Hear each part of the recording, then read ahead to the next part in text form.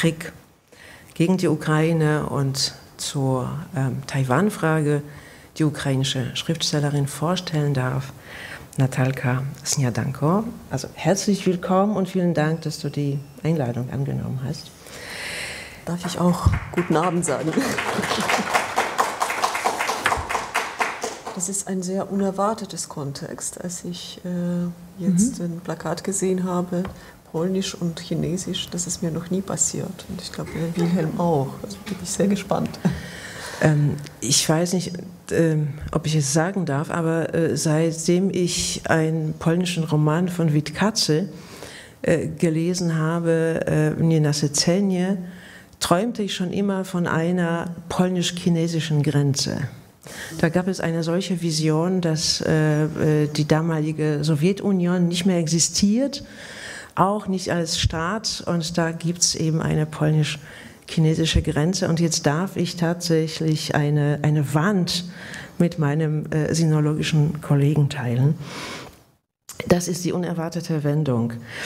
Äh, es ist auch unerwartet, ähm, dass Natalka Snjadanko nicht aus Lviv, äh, wo sie äh, lebt, zu uns gekommen ist, sondern aus Marbach, wo sie derzeit ein Stipendium am Deutschen Literaturarchiv innehat. Ähm, eine Autorin, die Sie wahrscheinlich kennen, sie hat in Lviv in der Ukraine studiert nach dem ersten Studium war sie auch äh, in Freiburg äh, und ist heute Autorin, auch Übersetzerin, Übersetzerin aus dem Deutschen, aus dem Polnischen, aus dem Russischen, wobei du wahrscheinlich vor allem russische, russischsprachige ukrainische Kollegen ins Ukrainische übersetzt. Das war eigentlich nur ein Auto. Andrei Kurkov. Kann ich jetzt mhm. so viel. Okay.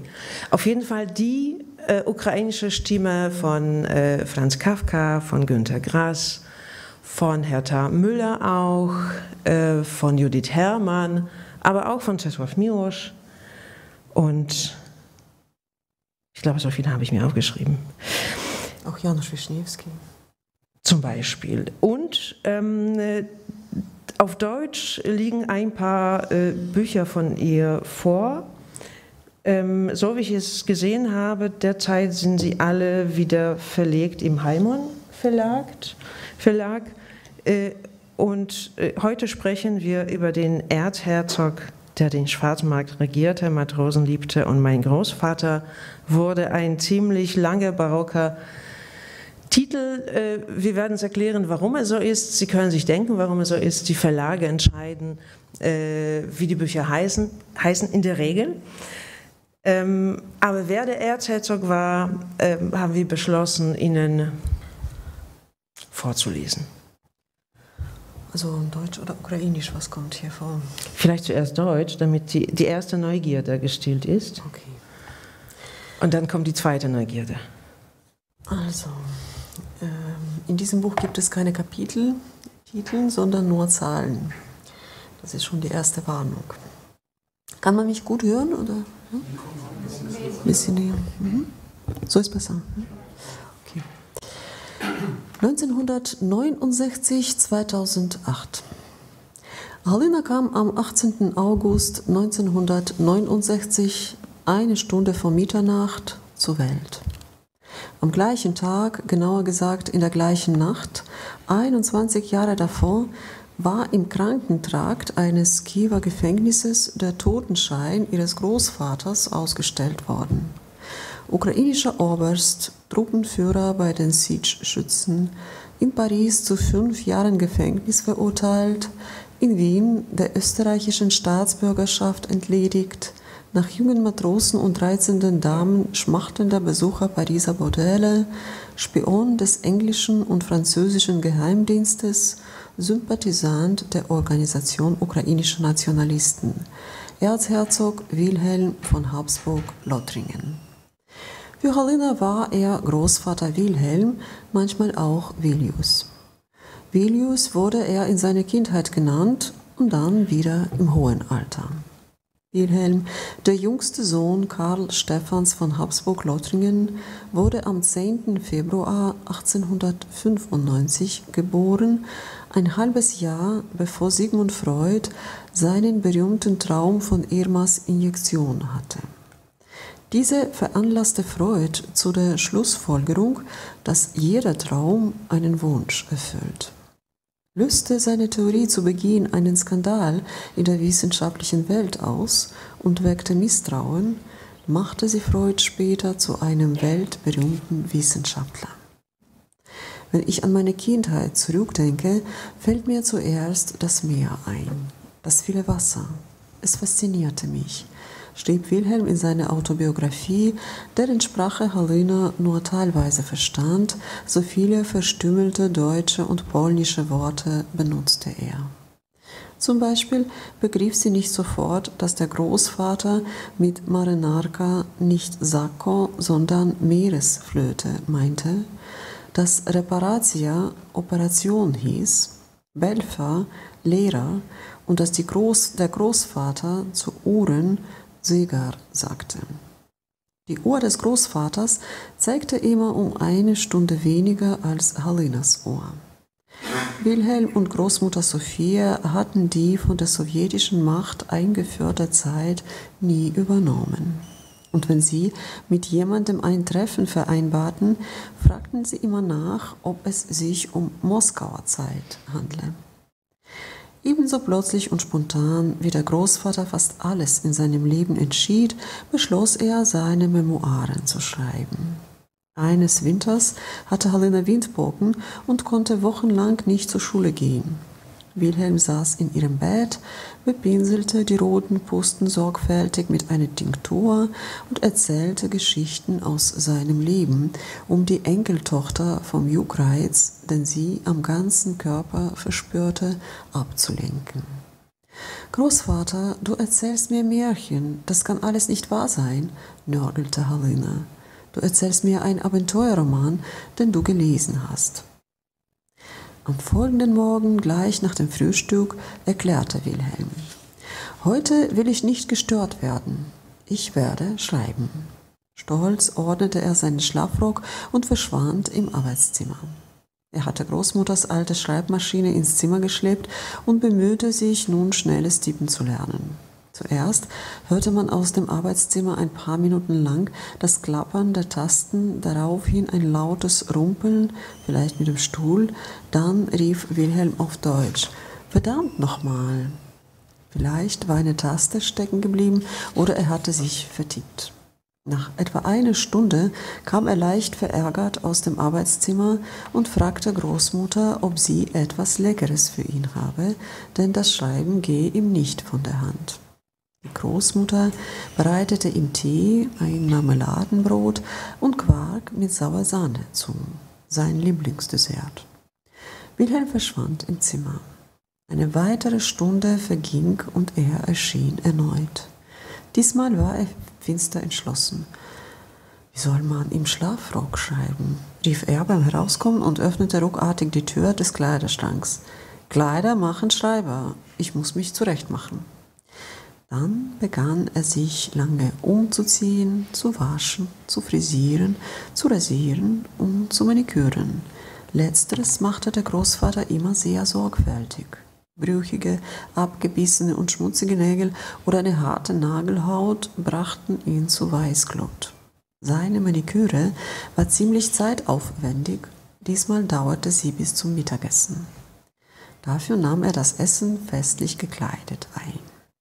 Großvater hatte in einer Schublade sogar seine Schweizer Uhr gefunden, die seine Inhaftierung auf wundersame Weise überdauert hatte. Er befreite sich sie vom Staub und band sie sich ums Handgelenk. Er hatte die Uhr viele Jahre nicht getragen. Nach dem Essen seufzte Großvater zufrieden und sagte, und jetzt ruhe ich mich ein bisschen aus. Das Schreiben war Wilhelm schon als Kind schwer gefallen. Bereits die Schönschreibstunden hatte er gehasst und sich wann und wie auch immer möglich davor gedrückt. Aufsätze schrieb er später ebenso ungern. Er fand es langweilig, so viel Zeit für etwas zu verschwenden, das er sich auch so vorstellen konnte. Seine Unfähigkeit, sich lange auf eine Sache zu konzentrieren, ließ später auch seine mündlichen Erzählungen chaotisch und unvollständig erscheinen. Manche Episoden erwähnte er oft und detailliert, andere ließ er weg. Deshalb hatte Halina eine ziemlich bruchstückhafte Vorstellung vom abenteuerlichen Leben ihres Großvaters. Ein ähnlicher Eindruck wie beim Schauen alter Dokumentarfilme, die immer wieder reißen. Mit dem Film verknittern auch die Eindrücke und fügen sich an den überraschendsten Stellen wieder zusammen. Während Halina den chaotischen Erzählungen lauschte, begann sie zu zeichnen. Zuerst nur Gesichter. Sie versuchte sich vorzustellen, wie all die Menschen aus Großvaters Erzählungen ausgesehen hatten. Dann einzelne Szenen. Der Großvater langweilt sich als kleiner Junge bei einer höfischen Zeremonie in Wien. Er flüchtet aus dem Schloss der Familie im polnischen Seibusch in die Berge zu den Huzulen.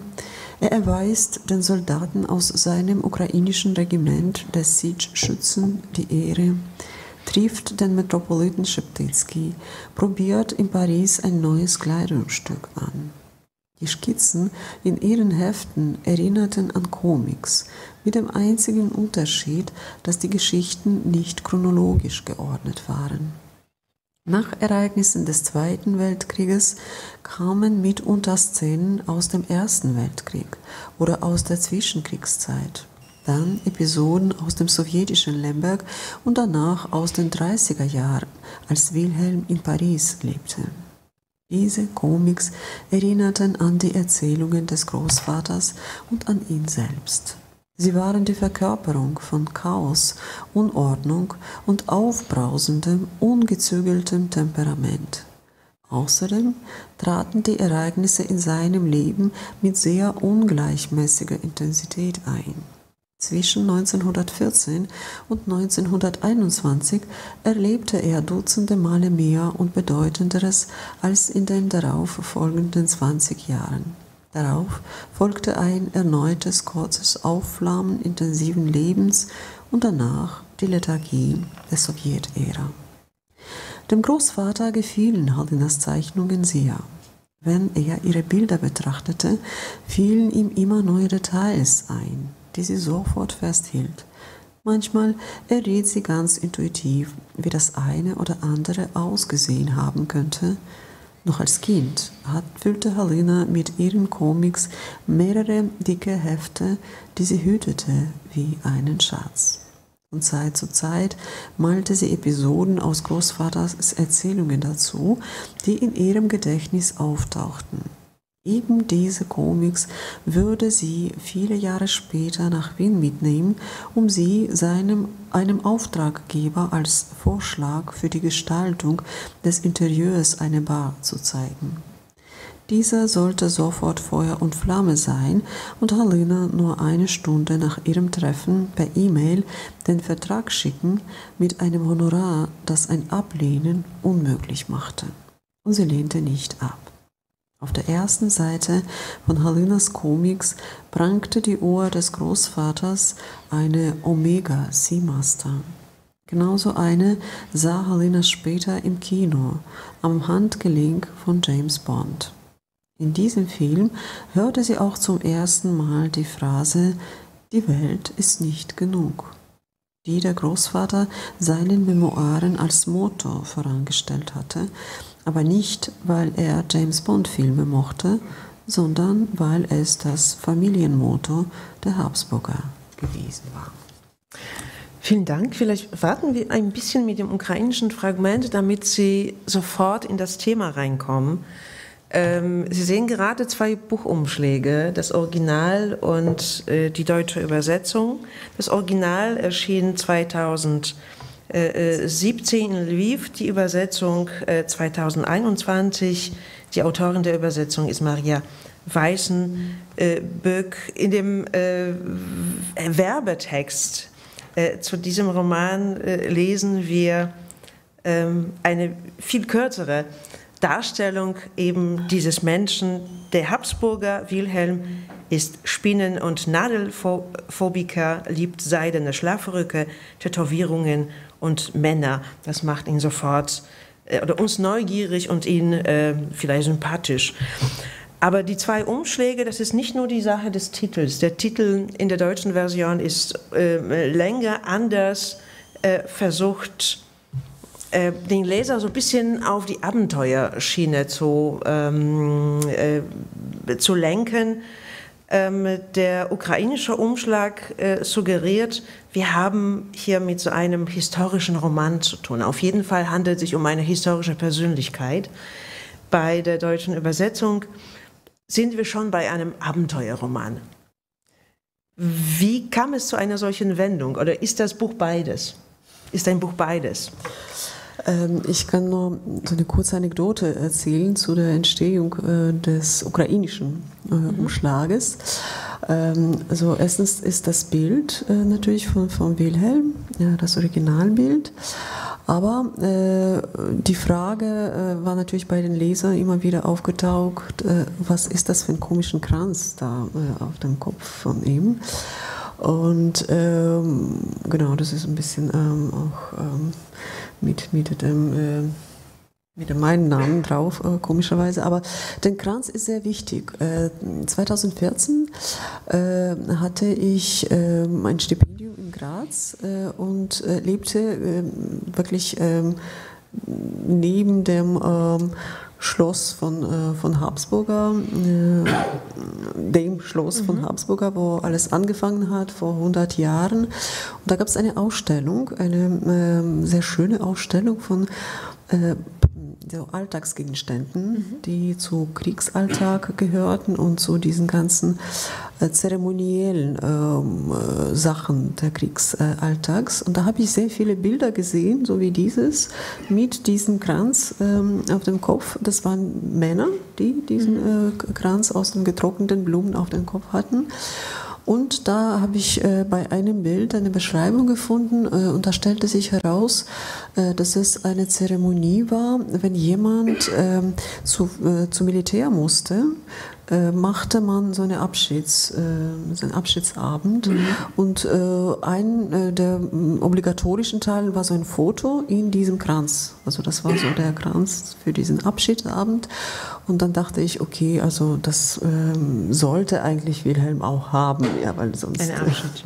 diesen mhm. Abschied und so ein Foto, das war sehr mhm. traditionell und das habe ich ihm gegönnt, also bei diesem äh, Umschlag. Und äh, ukrainische Titel äh, ist eigentlich ähm, alles andere als, ähm, ja, das ist auch so sehr aber sehr kurz, sachlich. Nicht ganz. Mhm. Also äh, es ist vor allem besteht aus sehr vielen Wörtern, äh, Wörtern die äh, im Ukrainischen völlig verwirrend klingen. Zum Beispiel, was ist ein Schlafrock, äh, ist nicht äh, unbedingt klar.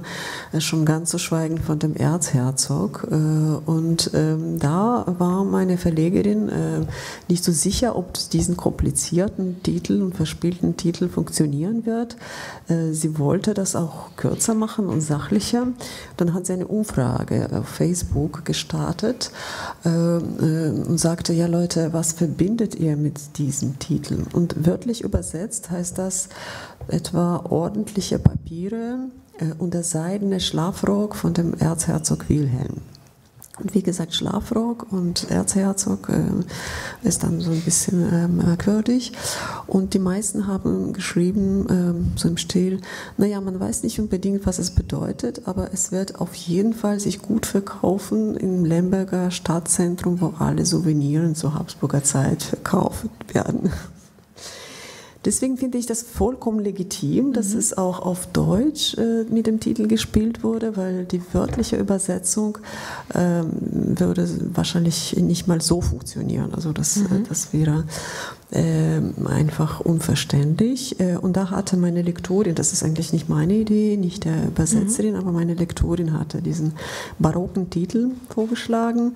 Wie gesagt, äh, das äh, war schon erwähnt, sehr untypisch, weil die Verlage wollen das alles kürzen. Und da habe ich erwartet, dass es bei Erzherzog bleibt oder so. Äh, und jetzt habe ich den schönen langen Titel äh, und das ist natürlich jeder, äh, jeder Kollege und Kollegin ist mehr neidisch, weil äh, alle kriegen die Titel gekürzt und ich kriege es verlängert. Also das äh, finde ich sehr schön. Auf jeden Fall geht es um den Erzherzog äh, Wilhelm, Wilhelm Habsburg, nicht nur um ihn. Ähm, auch hier ist die Narration so ein bisschen wie bei seinem Erzählen äh, in der dargestellten Welt nicht chronologisch.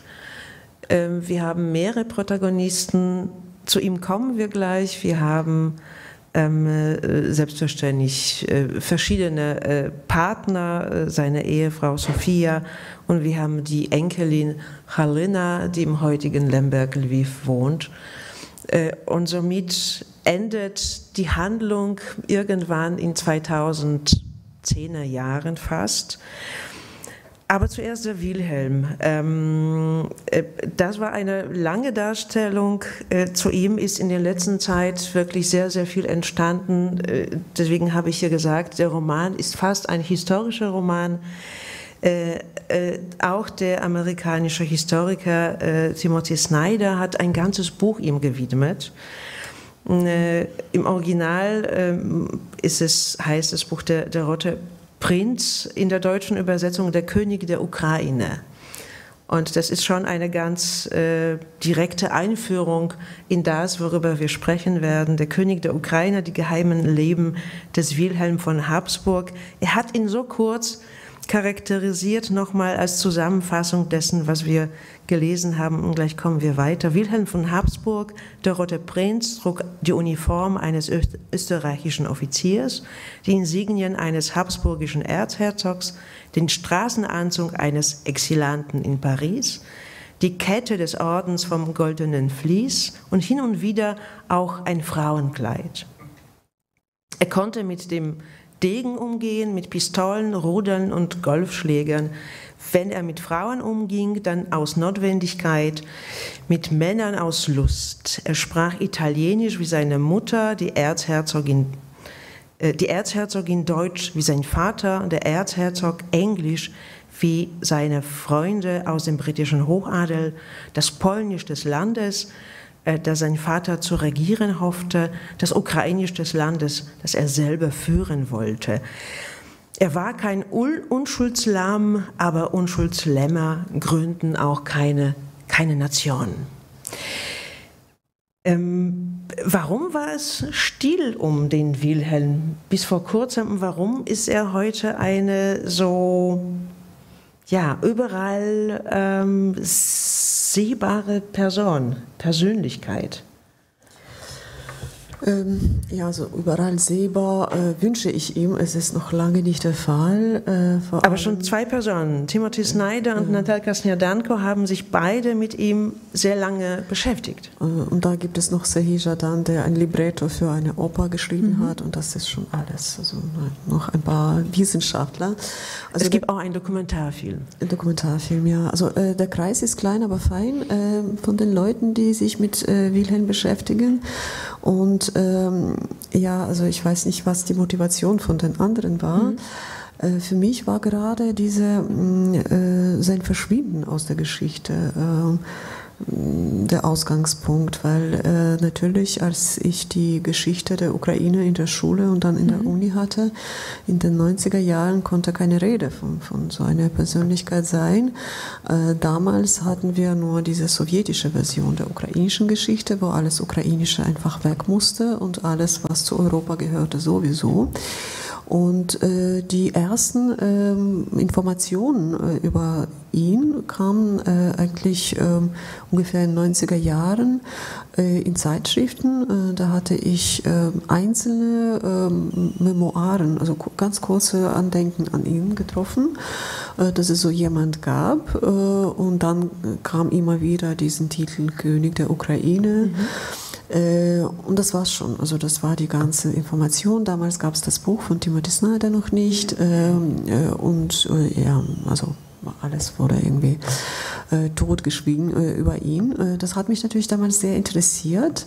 Äh, umso mehr, dass unmittelbar nach diesen ganz kurzen und unvollständigen Informationen nichts Neues kam, nur die Gerüchte.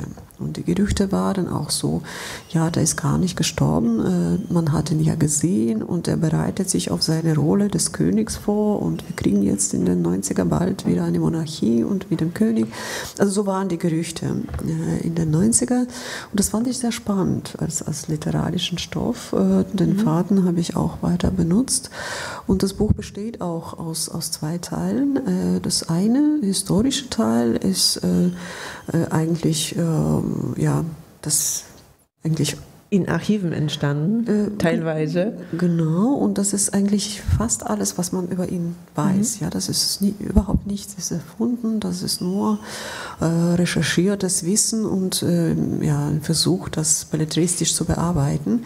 Das andere Teil ist vollkommen fiktiv. Also die, äh, das, äh, da lasse ich ihn einfach weiterleben, als er tatsächlich geliebt hat und äh, versuche mir vorzustellen, wie würde er sich fühlen in dieser sowjetischen Ukraine mhm. und er sich angeblich auf das Königsein irgendwann vorbereiten sollte. Ich lasse ihn auch eine Familie gründen, was er wahrscheinlich unwillig gewesen wäre in Wirklichkeit, aber wer weiß, vielleicht gab, gab es mhm. solche äh, Familien, die, äh, über die wir nichts wissen. Also ich habe einfach alles, was wir nicht wissen, äh, mir ausgedacht und beschrieben, also in diesem fiktiven Teil. So ist das Buch, also teilweise tatsächlich eine, ein äh, historisches Roman, könnte man sagen, mhm. andererseits völlig willkürliches Abenteuerroman, denn das alles wieder, äh, ja. Aber auch der historische Teil äh, liest sich wie ein Abenteuerroman. Zum einen, weil sie da immer wieder mit Briefen konfrontiert werden, die man fast nicht glaubt, in irgendwelchen Archiven gefunden zu haben. Wirklich detaillierte Briefe, die äh, unser Protagonist äh, äh Wilhelm Habsburg alias äh, äh Vasil Vyshevany an diverse Leute in seiner Umgebung schickt, auch an seinen ähm, äh, ja, ähm, nähesten Soldaten. Ähm, auf jeden Fall, für mich war diese Geschichte auch etwas ganz, äh, ganz Neues, denn ich wusste, dass die Ukraine während des Ersten Weltkrieges an verschiedene Versionen der Staatlichkeit dachte, verschiedene Szenarien durchging, aber dass da ein Habsburg vorhatte, äh, ukrainischer König zu werden, äh, eben nicht. Die Idee war, man hat vermutet, dass äh, der Krieg das Ende äh, von, von der österreichischen Monarchie bringt und man wollte sie weiterleben lassen in Nationalstaaten, in denen eben diverse Habsburger dann äh, wirklich als Könige und als Herrscher äh, weiterleben werden. Äh, welche Protagonisten in dem Roman vorkommen, äh, ist nicht so einfach äh, sich zu merken, weil es relativ viele sind, weil der Roman eben nicht chronologisch ist.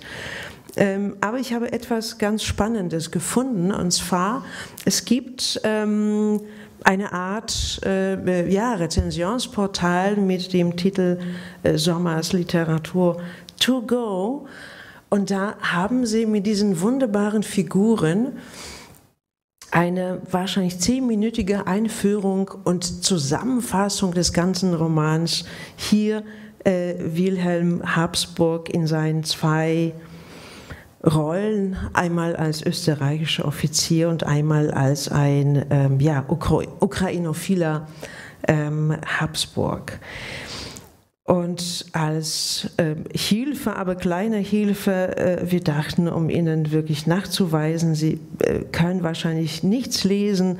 Äh, oben steht unsere äh, Maria Theresia, die damals die Große, und unten Wilhelm von Habsburg, unser Protagonist ähm, geboren in den 1900, 1890er Jahre. Er steht da alleine, die Familie war aber viel, viel, viel zahlreicher. Ähm, das klang schon hier ein bisschen an, die Familie war mehrsprachig.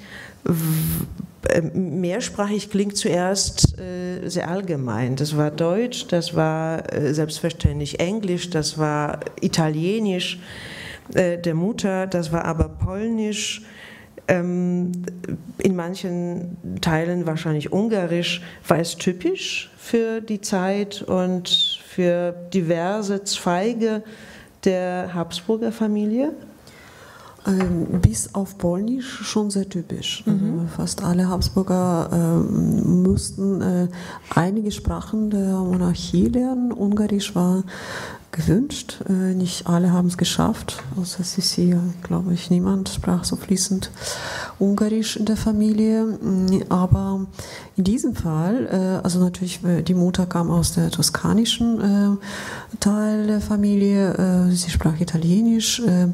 Sie hatten auch etwas untypisch, ähm, eine englische, englische Gouvernante, keine mhm. französische. Das war auch nicht generell so. Normalerweise waren äh, Habsburger sehr konservativ und Englisch galt als verpönt noch äh, bis, äh, bis zum Zerfall. Also man musste Französisch mhm. eigentlich als die äh, Sprache, die, also die Fremdsprache lernen. Äh, sie hier hatten Englisch äh, und es gibt sogar, ich weiß nicht, ob es fiktiv oder tatsächlich gibt es, habe ich gefunden, die Erinnerungen von einer englischen Gouvernantin, die die, die, die kind, mhm. Kindheit von, Habs, von, von Wilhelm beschreibt. Äh, und hat das veröffentlicht. Ähm, was das, ähm, ja, warum sie alle Polnisch sprachen, äh, das war eigentlich so ein ambitioniertes Projekt vom Vater von Wilhelm. Er hat ähm, äh, schon damals, also 1895, ist Wilhelm als letztes sechste Kind in der Familie geboren worden und äh, schon damals äh, wusste, also hatte dein Vater äh, eigentlich eine klare Vision, dass äh, die Kauka-Monarchie nicht mehr lange zu leben hat. Früher oder später wird es zerfallen und man musste sich dann vorbereiten. Und seine Idee war mh, eigentlich äh, alle Kinder äh, als professionelle ähm, ja, Monarchen oder eben Politiker zu erziehen. Äh, und er war eigentlich ähm, strategisch denkend genug, um zu mm, sehen, dass es äh, in Westeuropa zu viele Habsburger gibt, die eben diese Position beanspruchen werden. Aber in Osteuropa äh, gibt es eben diese äh, gut erzogene Monarchen aus dem guten mhm. Hause nicht und da hätte man mehr Möglichkeiten. Deswegen äh, zog die Familie nach Polen, äh, wo sie eine kleine äh, ein kleines äh, Gut in Seibusch, äh, Żywiec erbte. Timothy Snyder meint, es gehört bis jetzt immer noch ein Teil von, äh, von Brauerei von Żywiec, äh, tatsächlich den Habsburger. Nicht das Ganze, sondern nur ein winziges Teil, aber keine Ahnung, wie sie das geschafft haben über die ganze sowjetische Zeit und viele. Mhm. Ähm, äh, Dingen und die haben tatsächlich diese Żywiec Brauerei dort ähm, also nicht gebaut, da gab es was Kleines, die haben das modernisiert und äh, genau, entwickelt und besitzen teilweise bis jetzt. Und äh, alle Kinder mussten Polnisch lernen. Äh, die Älteren äh, wurden äh, mit polnischen Adligern verheiratet. Äh, was natürlich ein sozialer Abstieg bedeutete für Habsburger, aber das war ein Teil des, äh, des Plans, dass sie tatsächlich mit, mit einem hohen Adel ähm, äh, eben, äh, heiraten. Und äh, Wilhelm äh, war rebellisch, er kam noch weiter. Er dachte, ja, Polnisch ist ihm nicht genug. Ja, die Polen sind schon dann für Habsburger ein Abstieg, aber er wollte weitergehen. Er, er hat noch ein, als Kind Kind ist er einfach abgehauen und äh, äh, in die Karpaten. Also der hat da ukrainische Kinder kennengelernt äh, im, im Seibusch und ist dann zu Hozulen gegangen und er hatte äh, Glück äh, oder Unglück, äh, sofort die Ukrainer kennenzulernen, die eben mit Widerstandsgedanken, mit, mit Freiheitsgedanken, mit der Gedanken der nationalen Staat spielten und das interessierte ihn. Also der hat sich einfach in diese Kultur verliebt, in diese Sprache.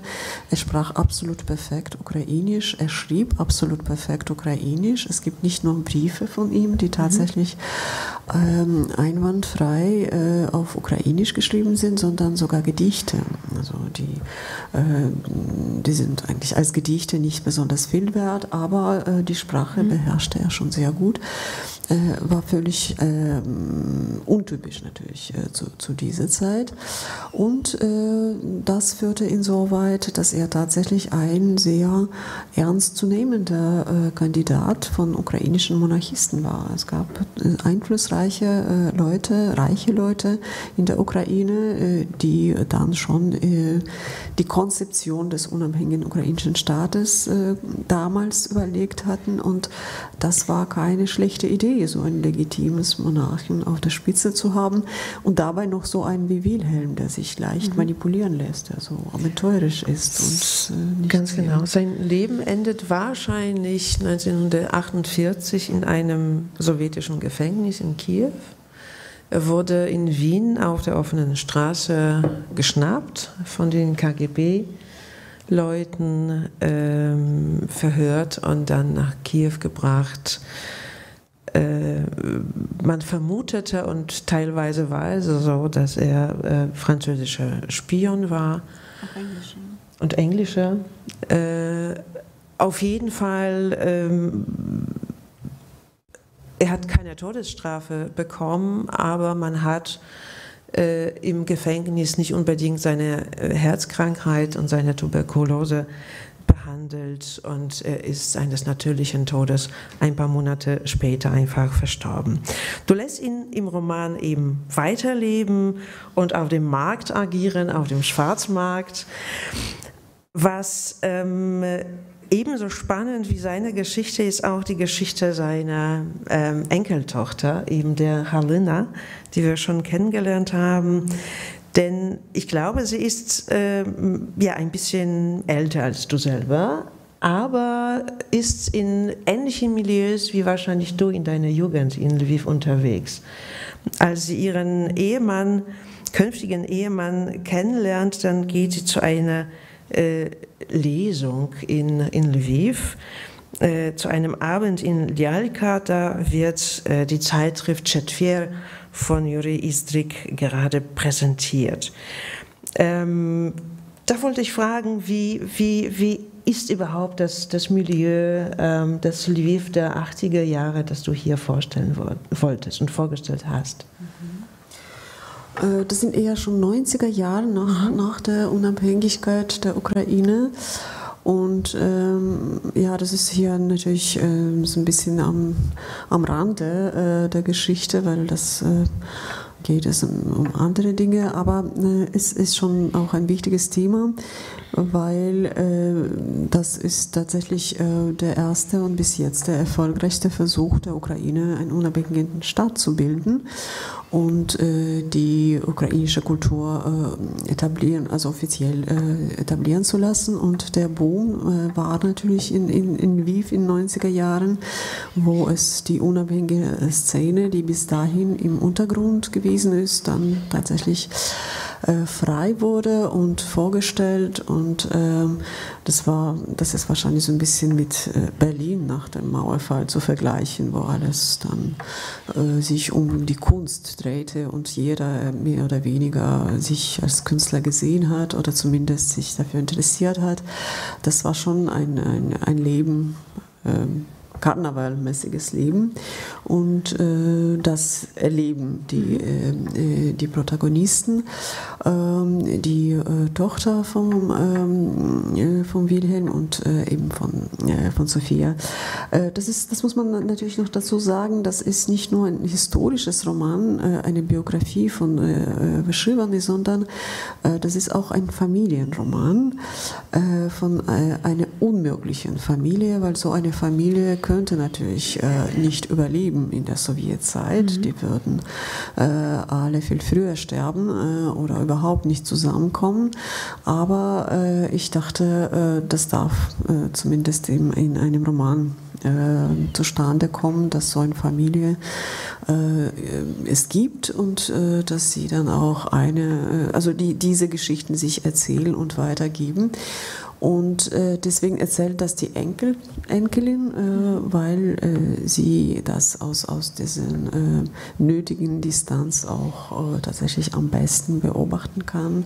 Und äh, über alle die Kriegen, über all die Schwierigkeiten bis zu diesen 90er Jahren ihre Jugend und ja, ihrem Empfinden der, der, der, der unabhängigen Ukraine, die als Traum mhm. ihres Großvaters angefangen hat und, und in ihrem Leben äh, sich verwirklicht hat. Mhm. Äh, ja, und das, äh, der Roman endet natürlich äh, glücklicherweise noch vor dem Krieg und da können wir äh, diese ähm, Happy End quasi erleben, denn, denn wir heute nicht mehr so mhm. schreiben, denn ich heute nicht mehr so schreiben hätte können. Ähm, Halina Lviv, äh, die 90er Jahre. Äh, Isrik selber ist auch ein westukrainischer Autor. Ähm, ich habe überlegt, ob das, ob das äh, so typisch ist oder meine bisschen allgemeine Sichtweise, dass in der heutigen ukrainischen Literatur immer noch so ist, dass ähm, eben ihr westliche Autoren euch sehr, sehr auf die Westukraine konzentriert. Was logisch ist, das ist das, was am besten kennt. Ähm, das war auch vielleicht die erste Zeit der Rezeption der ukrainischen Literatur in Deutschland. Das war eben äh, Juri Andruchowitsch mit seinem Versuch, ähm, das Galizische oder das Karpatische zum literarischen Stoff zu machen, stattdessen äh, Serhii Jadan äh, die Ostukraine im Blick hat. Ähm, ist es eine, eine jetzt westliche Perspektive auf die ukrainische Literatur äh, äh oder ist es wirklich so, dass es diese zwei Tendenzen äh, gibt und äh, nicht so richtig umge umgekehrt ist. Ich glaube schon, dass es eine mh, tatsächlich westliche Perspektive. Mhm. Äh, vielleicht hätte man das ähm, aufgrund der, äh, ja, der Sprachsituation so hat man so gemacht, weil äh, nach dem äh, 91, als die Ukraine unabhängig geworden ist, war der westliche Teil, das viel später zur Sowjetunion kam, natürlich wesentlich weniger russifiziert als das östliche Teil. Aber die Literatur, die funktioniert nicht nach dem äh, geografischen Prinzip Gott sei mhm. Dank. Und wir haben äh, nicht nur Sehijadan, wir haben auch äh, Kiewer Autoren, die nicht unbedingt aus Kiew sind, mhm. die natürlich aus allen Teilen der Ukraine sind. Wir haben jetzt äh, eine sehr starke Bewegung äh, auf der Krim, beziehungsweise auf den geflüchteten äh, Krim-Tataren, die äh, auch ihre Literatur in der Ukraine zu etablieren versuchen. Wir haben Autoren aus Donetsk, die ursprünglich russischsprachig waren und auch etabliert auf dem russischen Markt. Nach 2014 haben sie sich bewusst entschieden, auf Ukrainisch zu schreiben und schreiben jetzt auf Ukrainisch. Wir haben natürlich äh, Uschhorod und äh, dortige Literatur Transkarpatien und auch mit entsprechenden auch sprachlichen äh, Besonderheiten, Mentalität und so weiter. Also jetzt kann man natürlich äh, das nicht mehr sagen. Es gibt äh, Jadan und Andruchowitsch äh, und äh, Sabuschko und dann war es schon, äh, sondern es gibt schon eine sehr lebendige Literatur, in der auch immer mehr Frauen tatsächlich wahrgenommen werden und debütieren und tolle Literatur schaffen. Also das, das ist jetzt viel, viel breiter und also ganz anders. gut, dass ich dich ein bisschen provoziert habe mit dem Ost und West. Ähm, wir kommen nochmal zurück zu Halina. Halina äh, äh, genießt zwei Großmütter. Die eine, die Sophia, ähm, äh, hat eher eben galizische Wurzeln, die andere kommt aus dem Osten äh, der Ukraine. Und der Unterschied wird ganz interessant dargestellt, denn es geht um die Küche, denn es geht auch um die Art und Weise, wie sie sich kleiden. Sophia ist zugleich eine Schneiderin äh, und versteht etwas von der westlichen äh, Mode. Äh, äh, während Aljona, die andere Großmutter, eher in einer Küchenschürze durch die Gegend läuft. Und äh, die Unterschiede zwischen Ost und West oder zwischen unterschiedlichen Teilen auch der Ukraine werden auf dem Schlachtfeld der Vareniki, der Teigtaschen, gezeigt. Ähm, und da sind wir schon so ein bisschen weniger im Modus eines Abenteuersroman, mehr ähm, einer sehr guten Unterhaltung, denn es geht zum einen um die Zubereitung um die Fühlung, äh, um, äh, ja, wie so die Idee, wie so Vareniki. Das ist fast äh, wiederum wie, wie so eine klassische ukrainische Folklore. Ja, also ohne geht es eigentlich. Das Leben ist unwichtig. Ja, und ich habe gehört, dass äh, Vareniki, die äh, auf Polnisch äh, bis vor kurzem ganz schrecklich äh, russische Pirogen hießen, jetzt nicht mehr russische heißen. Das ist eine gute Nachricht. Und äh, natürlich äh, ist das, also ähm, wie unterscheidet man die, äh, mhm. die lokalen äh, Besonderheiten, ähm, vor allem durch die Sprache, klar, aber in so einem Land, äh, wo die Sprache dann ähm, systematisch vernichtet wurde, ist das nicht mehr das Wichtigste. Das ist schon äh, dann nur das, äh, ähm, ja, manchmal nur das Mittel, um sich zu verständigen und nicht mehr so authentisch. Ähm, aber Essen ist schon sehr wichtig in der Ukraine. Das ist die Brotkammer Europas mhm. schon immer gewesen.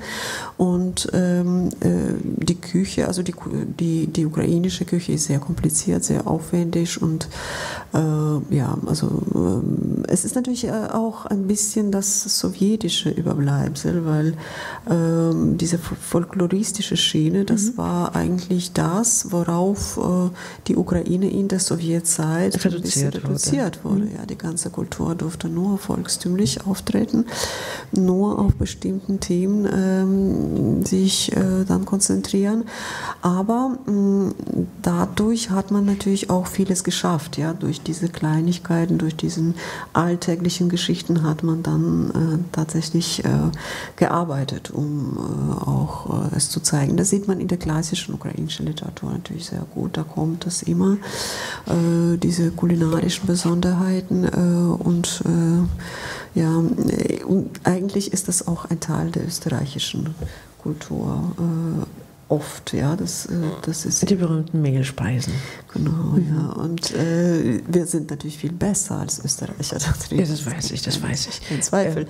Deswegen also ist das hier so ein bisschen die... Ähm, ja, Gebrauchs. Ja, ich weiß nicht, wo man hier in der Nähe Varenike essen kann, aber ich habe letztens im Nordschwarzwald in einer äh, Berghütte äh, Vareniki mit Erdbeeren gesehen. Also das kann man. Es gibt durchaus ukrainische Küche unterwegs. Ähm, die Schwaben meinen, die haben auch äh, mit ihren Maultaschen da was zu sagen, aber die ehren sich. Nee, nee, das ist, das ist eine andere Geschichte. Wir sind auf jeden Fall im Mitteleuropa, wir sind im Mitteleuropa Ende des 19. Jahrhunderts, Anfang des 20. Ähm, äh, es wird ein, ein großer Kampf äh, gekämpft um die ukrainische ähm, Eigenständigkeit, egal in welcher Form. Und vielleicht lesen wir jetzt, wir kommen zurück zu, äh, zu Wilhelm und ich sage lesen. Vielleicht liest du bitte, äh, Natalka, noch ein Fragment aus dem Jahr 1917. Ich wollte nur eine kleine Anekdote dazu geben. Äh, du sagtest über Essen und Schneiden. Äh, ich hatte eine äh, Lesereise in der Ukraine, als das Buch erschienen ist. Und da war ich in Dnipro.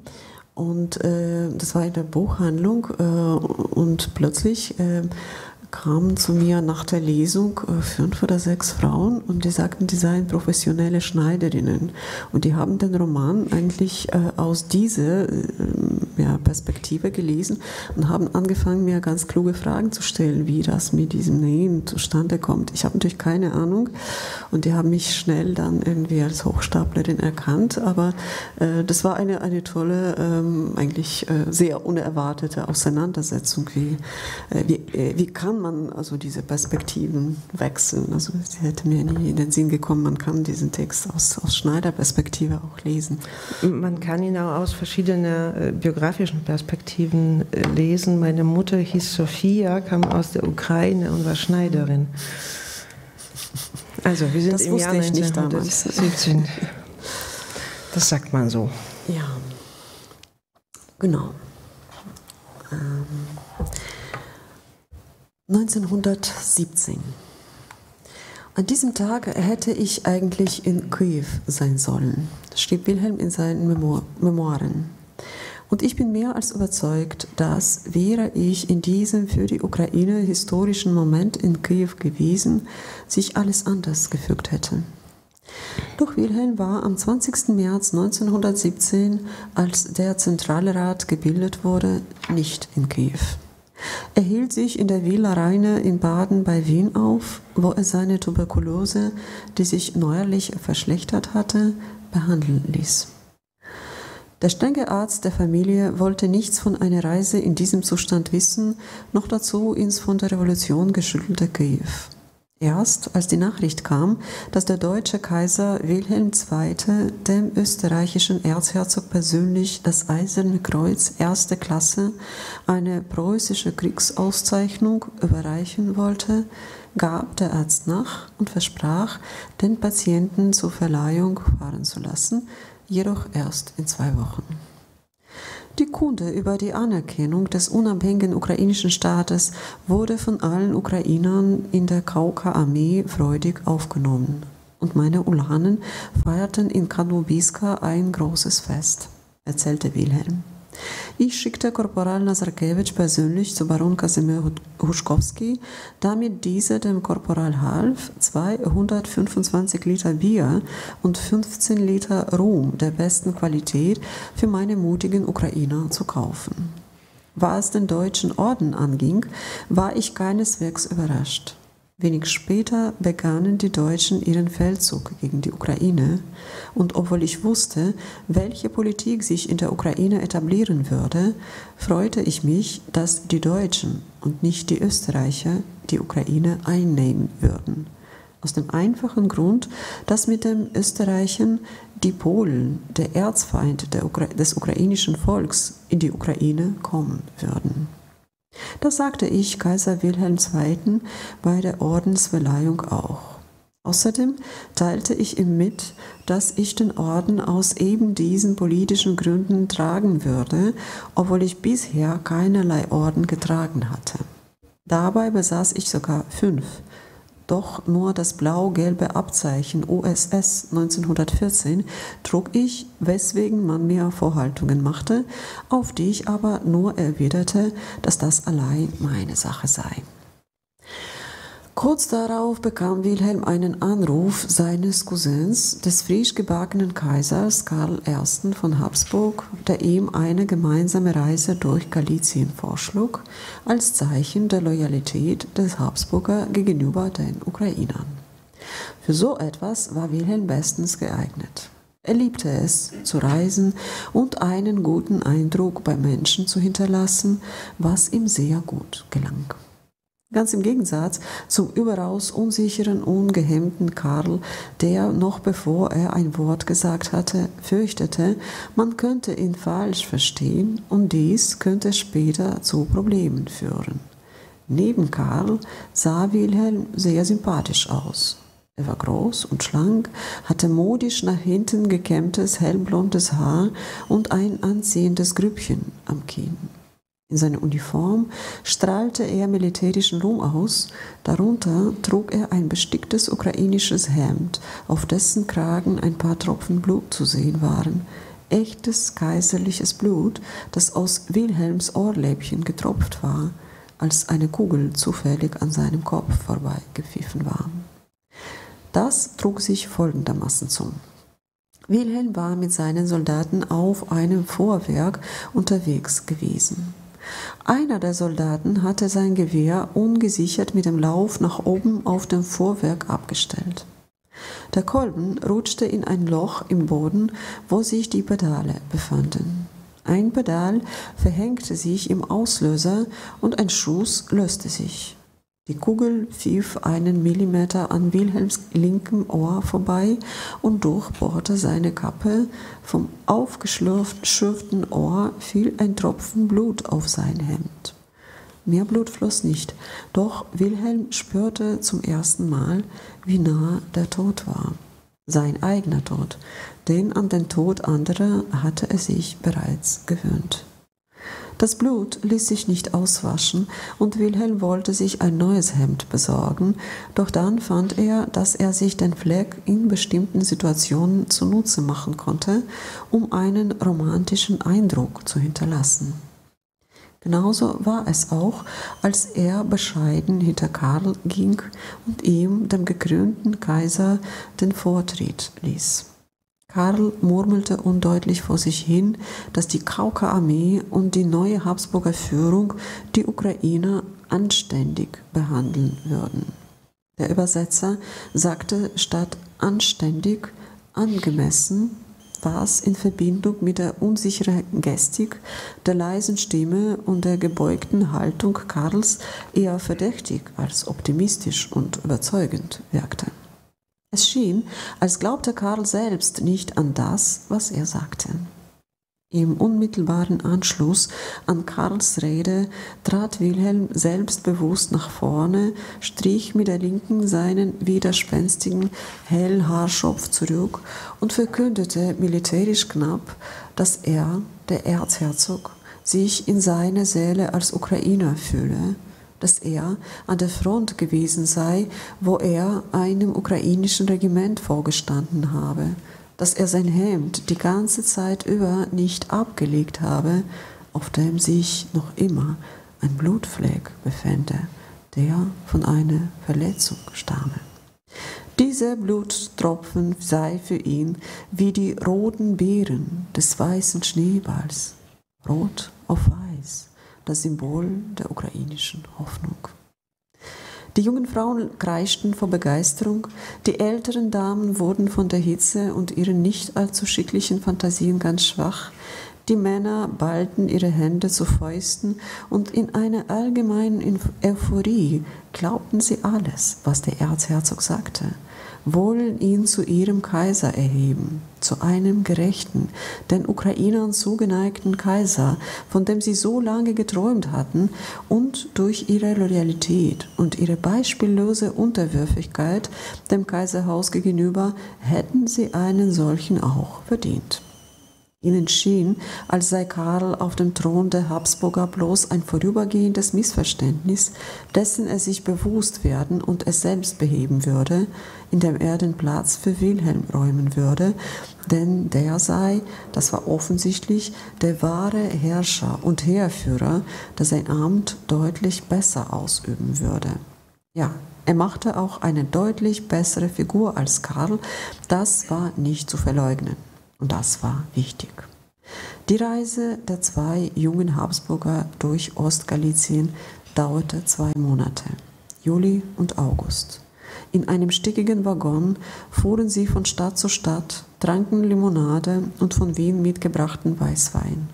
Der Wein wurde schnell warm und bei jeder Station schwärmten die Diener auf der Suche nach einem tiefen Brunnen aus um daraus eiskaltes Wasser in einen Bottich zu schöpfen, in dem sie den Wein kühlen könnten. Abends spielten Wilhelm und Karl Präferenz, rauchten und waren voll des Stolzes auf sich und ihre wichtige Mission. Zum ersten Mal fühlten sie sich nicht wie schlimme Jungen, die sich der Kontrolle ihrer Familie entzogen hatten und Unabhängigkeit spielten, sondern wie bedeutende Staatsmänner, die sich einer wichtigen Sache annahmen. Beide waren eitle Hecken und fanden an der Auswahl ihrer Garderobe großen Gefallen. Mit der Zeit übernahm Karl Wilhelms Art, deutlich und kurz zu formulieren. Er merkte sich sogar ein paar ukrainische Worte und stockte nicht mehr während seiner Reden. Er hielt sich aufrechter und legte sich denselben Haarschnitt wie Wilhelm zu, obwohl dieser bei Karls schütterem braunen Haar längst nicht so schick wirkte wie bei dem dichten blonden Haarschopf des Cousins. Die Reise durch Galizien stärkte die Autorität des neuen Kaisers Karl bei den Ukrainern. Doch möglicherweise prägte sich den Zuhörern weniger die schüchterne, farblose Gestalt des amtierenden Kaisers ein, sondern vielmehr Wilhelms blaue Augen, seine lebhafte Gestik, das ukrainische, mit dem Blut des mutigen Erzherzogs bepflegte Hemd, sowie die Tatsache, dass er ukrainisch sprach. Vielen, vielen Dank.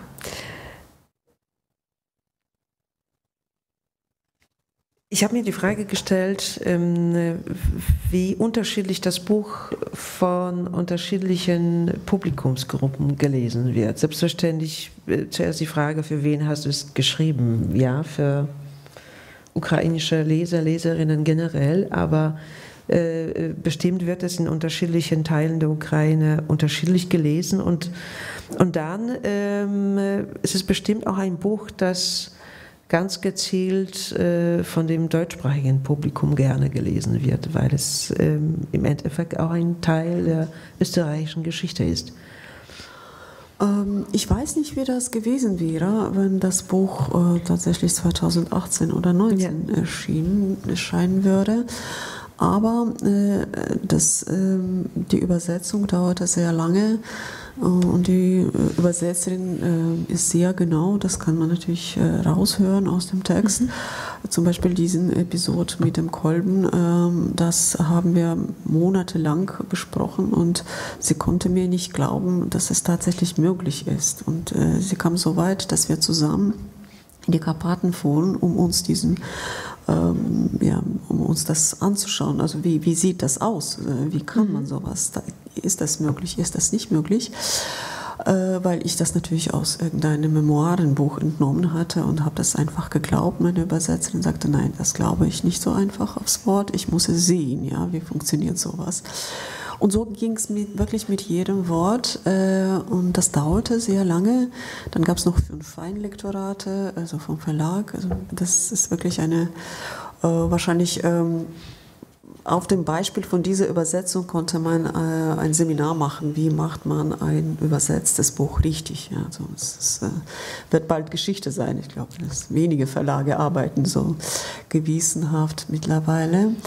Und äh, genau, äh, als das Buch herauskam, äh, war ich in Wien. Das war März äh, 21, äh, die tiefste Pandemiezeit. Alles war zu.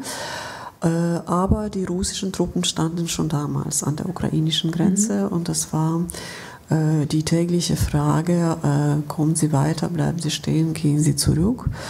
Und ähm, genau aus der Idee, äh, eine Lesereise oder zumindest äh, Lesungen oder ein bisschen äh, Presse, Pressearbeit zum Buch zu machen, äh, wurde nicht viel, weil es eben Pandemie war. Äh, und ich kann mich noch äh, sehr gut da, daran erinnern, wir saßen irgendwo ähm, mit, einer Journalistin, einer österreichischen Journalistin, fast heimlich haben wir uns in einen Raum ähm, eingeschlichen, um ein Interview zu, zu geben.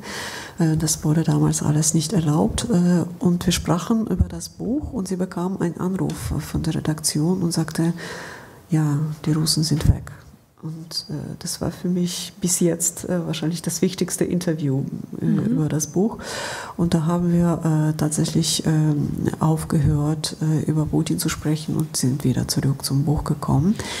Und so liest sich das Buch. Also das äh, funktioniert schon das dritte Jahr äh, auf dem deutschsprachigen Buchmarkt und äh, bei den Lesungen. Äh, und das ist tatsächlich jedes Mal ein bisschen ähm, ja, so Aufklärung dabei. Das funktioniert auch ein bisschen wie ein Sachbuch. Und äh, es gibt immer wieder Fragen, ja, was ist das jetzt gemeint? was war das für eine Geschichte? Warum wird das und jenes erwähnt? Ähm, vor allem, warum kommt Bandera vor und äh, wo kommt das vor und so weiter. So das bisschen Wissen, das äh, im deutschsprachigen Raum über Ukraine existiert, beschränkt sich natürlich auf diese Bandera-Rundfragen. Und äh, ich hoffe sehr, dass äh, eben diejenigen, die äh, zu dem Buch kommen, dann schon viel weiter sind und noch viel weiter kommen und äh, ja, das, äh, das funktioniert wirklich äh, weniger im, im Zusammenhang mit Wilhelm und Habsburger, mhm. sondern mehr als, als Ukraine-Geschichte, ähm, Sachbuch. Ähm, Im ukrainischen, ähm, äh, in der Ukraine war das natürlich ganz anders. erstens war das Interesse an, an der Hauptfigur, aber die Geschichte ist natürlich auch nicht bei allen äh, so präsent und nicht in diesen Details, äh, die da vorkommen, weil das ist äh, ein Jahrhundert mehr oder weniger und äh, in sehr, sehr vielen Details, die da nicht so bekannt sind. Und da hatte ich äh, auch ähm, so ähnliche Auseinandersetzungen wie, in Deutschland, wo man mich fragte, ja, was ist da mit Bandera und Wilhelm und so. Äh, dann kamen zum Beispiel äh, so ältere Herren, die dann überzeugte ukrainische Nationalisten waren, nach der Lesung zu mir und sagten, naja, Frau Snedanko, also konnten Sie irgendwie nicht so vorsichtiger über seine sexuelle Orientierung schreiben? Ist doch eine ernstzunehmende Figur und Sie erlauben sich sowas. Dann habe ich einfach die ganze Schuld auf Timothy Snyder geschoben und gesagt, ja, es ist seine Idee, ich kann nichts dafür, aber so ähnlich äh, funktionieren diese Kontexte. Man, man muss tatsächlich über Vareniki und sexuelle Orientierung und was weiß ich, äh, zu, zu dem Inhalt kommen, sonst äh, ist es schwierig. Aber der Roman liest sich wirklich wie ein Abenteuerroman, äh, sogar in diesen sehr biografischen äh, Teilen, äh, weil, wie gesagt, hier wird äh, sehr, sehr viel aus der Korrespondenz Wilhelms zitiert. Und nirgendwo wird auch so konkret gesagt, dass es Quellen sind, äh, wirklich archivale äh, Quellen. Man kann es vermuten, denn es wird hier eine Liste auch von mehr oder weniger wissenschaftlichen Literatur plus literarischen Werken auch bekannt gegeben, aus denen das Buch ähm, geschöpft hat. Und ähm, nehme ich an, für deutschsprachige Leser ein Glossar mit äh, den wichtigsten Persönlichkeiten, damit man nicht selber googeln muss, wer Ivan äh, Franko war äh, oder äh, äh, Josef Piłsudski beispielsweise. Ähm, aber, aber das wissenschaftliche Buch von Timothy Snyder liest sich auch streckenweise wie ein Abenteuerroman. Es liegt äh, nicht zuletzt wirklich an der Biografie von Wilhelm Habsburg.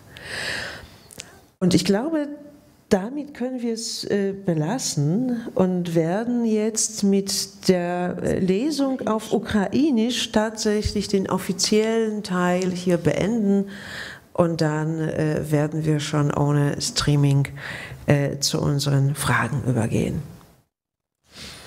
Ja. 1969-2008 Галина народилася за годину до півночі, 18 серпня 1969 року. Того самого дня, а точніше тієї самої ночі, тільки на 21 рік раніше в київській в'язничній лікарні було виписано довідку про смерть її дідуся, українського полковника, полкового командира січових стрільців, засудженого на 5 років ув'язнення в Парижі, позбавленого австрійського громадянства у Відні, ласого до молодих моряків і вродливих жінок, клієнта паризьких портелів, шпигуна англійської та французької розвідок, симпатика ОУН ерцгерцога Вільгельма фон Габсбурга. Для Галини він був дідом Вільгельмом, рідше Вілюсем. Власне, Вілюсем його називали в дитинстві, а потім вже аж у глибокій старості. Вільгельм, наймолодший син Карла Штефана фон Габсбурга, народився 10 лютого 1895 року, за півроку до того, як Зигмундові Фройду наснився знаменитий сон про укол Ірми. Завдяки цьому сну Фройд зробив висновок, що кожне сновидіння є здійсненням бажання. Цим він спершу викликав у науковому середовищі скандал і недовіру, а лише згодом, саме завдяки цьому відкриттю, став усесвітньо відомим ученим. Перше вражіння, яке собі пригадує з діточих літ, це море, багато води. Написав дідусь Вільгельм в автобіографії, мову якої Галина розуміла тільки частково, так багато було там спотворених польських і німецьких слів. Наприклад, вона не відразу збагнула, що маринаркою дідусь називав не піджак, а морський флот. Репарація означала операцію, бельфер учителя, а годинник дідуся називався дзигарем. Дідусів дзигар завжди показував на годину менше, ніж було на годиннику в самої Галини. Вільгельм і бабця Софія так ніколи і не перейшли на запроваджений радянською владою час. І коли домовлялися з кимось на певну годину, то завжди з'ясовували, чи точно йдеться саме про московський час. Danke. Vielen Dank.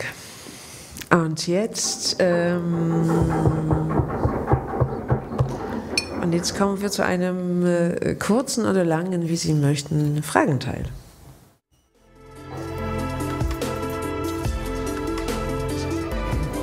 Ja.